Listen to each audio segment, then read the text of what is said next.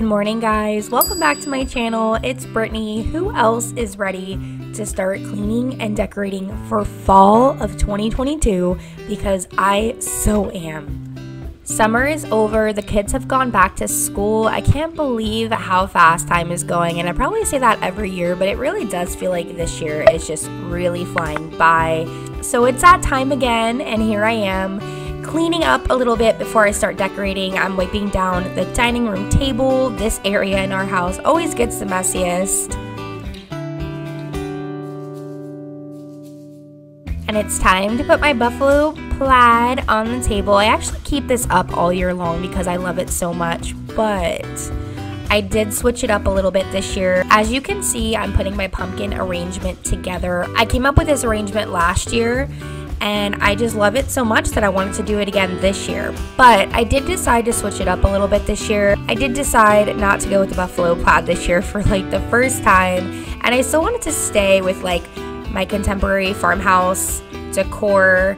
But I wanted to go with more of a classic fall this year, so I wanted to add in those oranges and whites and browns and not so much the buffalo plaid this year, but I still do love my buffalo plaid. So you're gonna get to see two different styles. You're gonna get to see the buffalo plaid look right here that I'm doing because this is what I did last year and I loved it so much. But then after I did it, you're gonna see in the next clip what I decided to go with for this year.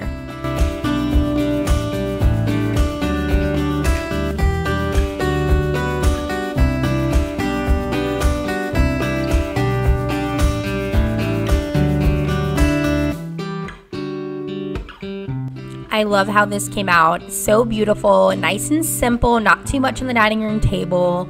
And uh, who doesn't love pumpkins, right? And this is the look I switched it to that I'm going with for this year. As you can see, I added in the orange pumpkins and I put a new runner on the table. I love this runner. It's nice and neutral and I got it from Hobby Lobby. now it is time to do some dishes that are in the sink. Um, does anybody love to do dishes? Because I have to admit, I'm not a big fan of them. I do do the dishes in my house for the most part. Um, yeah, but I'm not too crazy about them. It usually takes me like an hour to do them, especially if there's a sink load. Thankfully, today there was only a few dishes in the sink because I've been trying to keep up with the dishes because they can fill up pretty fast when you cook a lot. But I do have to say, I think one of the best feelings is a nice clean kitchen with an empty sink. So now that I cleaned up a little bit, it is time to decorate, guys. I'm so excited. This is my before coffee bar area. And this is after. I love it so much. I think it came out so cute. It's just nice and simple. This is my tier stand. I got the Hello Pumpkin and the Pick Your Own pumpkins from the dollar spot at Target, and the pumpkins came from Hobby Lobby. I thought this coffee mug would look so cute on the Keurig, but I think it's a little too big. So I just wanted to keep my fall decor more minimal this year, not too much. So this is what I decided to go with for the kitchen. I love it. It's not too much in here and it just brings those fall vibes.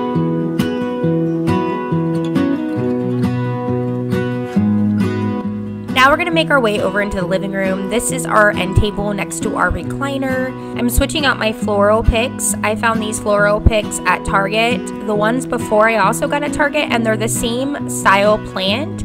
It's just this has more of the fall colors on it, but still has those hints of green and I just absolutely love it. And I topped it off with a pumpkin. So now I'm going to make my way over to start decorating the couch in our office space. And I want to keep it minimal, but add those fall touches and cozy vibes. So this video did take me about two days. I started decorating with what I had and I didn't want to buy too much this year, but there was a few things I did not like that I felt were missing when I started decorating. So that's why you'll see an outfit change because this is the second day. This is after I went to Hobby Lobby and picked up a few new pieces to add to the house. I picked up this vase and these floral picks and I absolutely love them so much. It really adds to the bookcase back here in the living room area by the office. And I can use the vase all year long and switch out the floral picks. I tried adding a touch of cotton in there, but I didn't like it. I thought it was a little too much.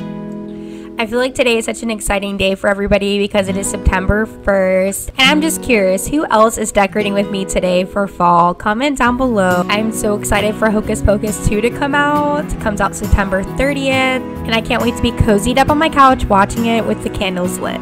So on my couch, I just added this cozy blanket from the Target Dollar Spot, and also I got the pillows from the Target Dollar Spot as well. For this shelf, I just added some pumpkins. I really love these two pumpkins right here. These candle holders that I do have candles in now.